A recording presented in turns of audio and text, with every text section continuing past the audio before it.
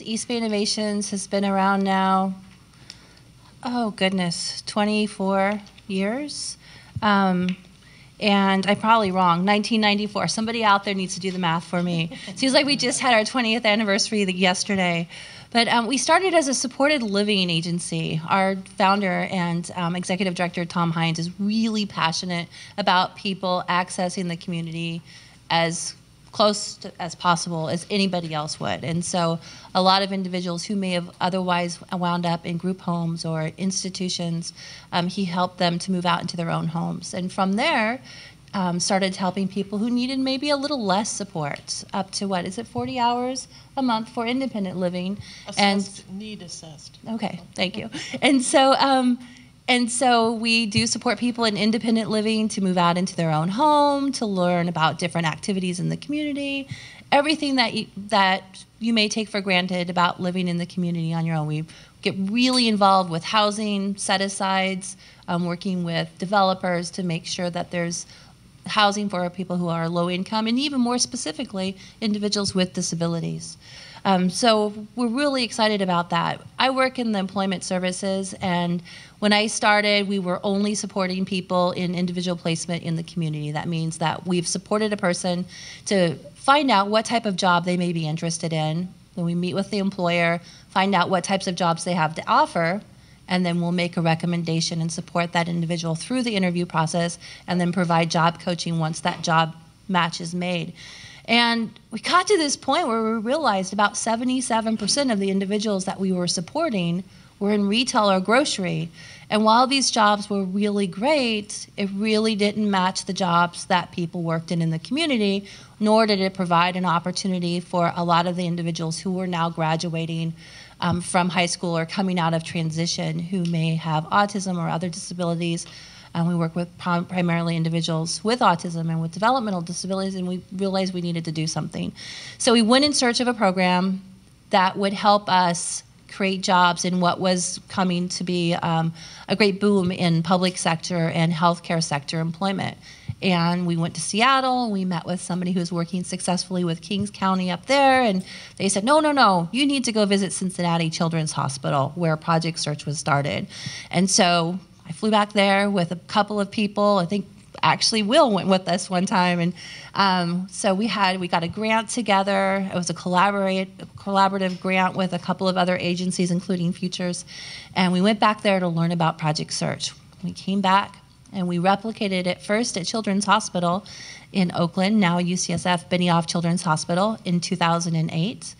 And then in 2009, the Board of Supervisors of the County of Alameda approved Project Search, and we replicated it in the downtown Oakland offices of the County of Alameda.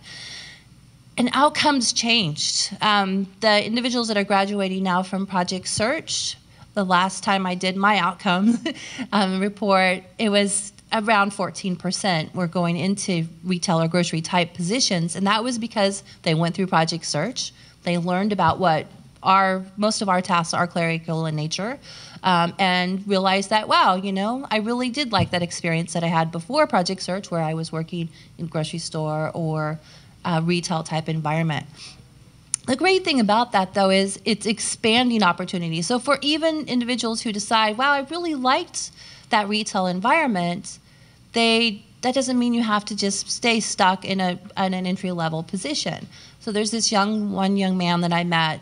He went through Children's Hospital Project Search, and prior to coming to Project Search, he'd worked with his father. He worked on the produce delivery truck with his father. He worked at the Christmas tree lots with his father. He learned how to use a chainsaw. He learned how to do the maintenance on the chainsaw. He changed the oil, and then his parents said, You need to learn something else. You need to get a better job, and, you know, maybe college isn't the right fit, so let's try this Project Search. And he went through Project Search and he gained some amazing computer skills. He's a whiz with Excel.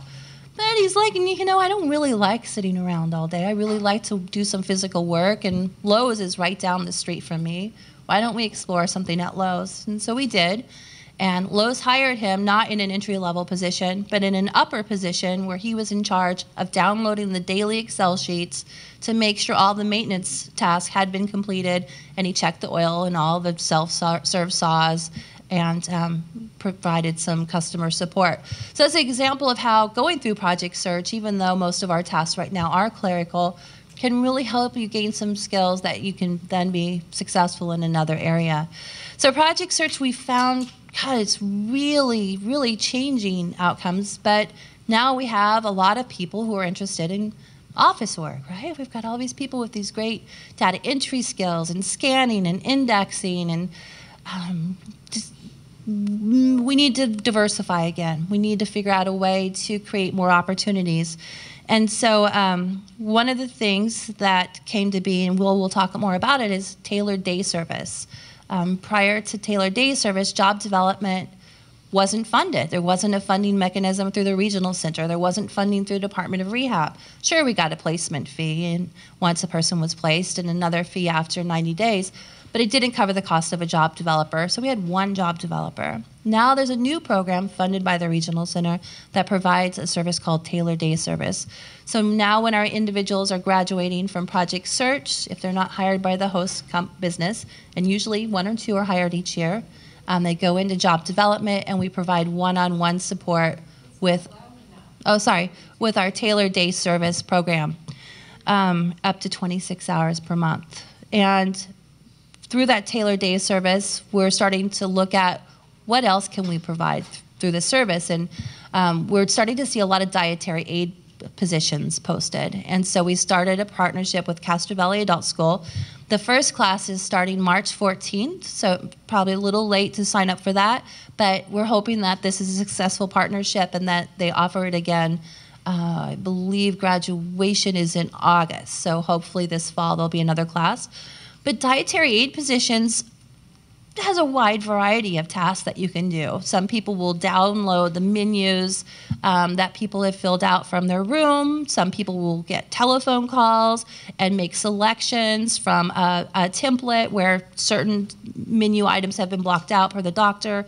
Um, maybe the dietary aid is doing food prep. Maybe the dietary aid is um, doing some food service. So a lot of different job skills that people are going to learn, and we'll provide that tailored day, tailored day service job coaching support during the class, and then internships afterwards.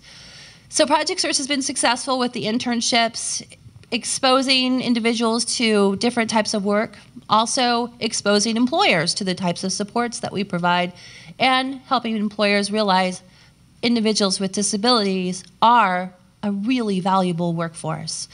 So we thought, well, gosh, well, how can we use these internships in another manner? And legislation passed last July that provided a new paid internship program.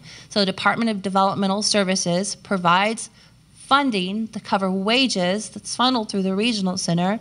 Um, and then it's combined with job coaching support, either through Department of Rehab or a regional center. And um, we're able to pay individuals at least minimum wage, and then they're on our payroll and we're reimbursed by the regional center.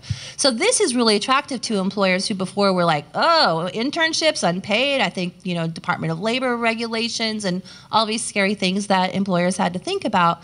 So now this has opened the door. We've had internships through um, we've just started internships with BART so we have three individuals working at the shop in the yard who are you know it's it's this combination of some physical work where you're distributing parts, but you're also doing a little bit of data entry. So we're really seeing this new paid internship pipeline um, as part of a our paid internship program is part of like a kind of like a secondary internship to project search. So people find out what they're really interested in. We know what skills and capabilities they have. And then we can make a recommendation to an employer and use this internship as kind of like a it's like a marketing or a working interview. Um, it's been really successful. So um, BART we have an intern at inner city advisors an organization that helps local businesses um, learn the skills that they need to then grow their business and hire individuals who may be disadvantaged.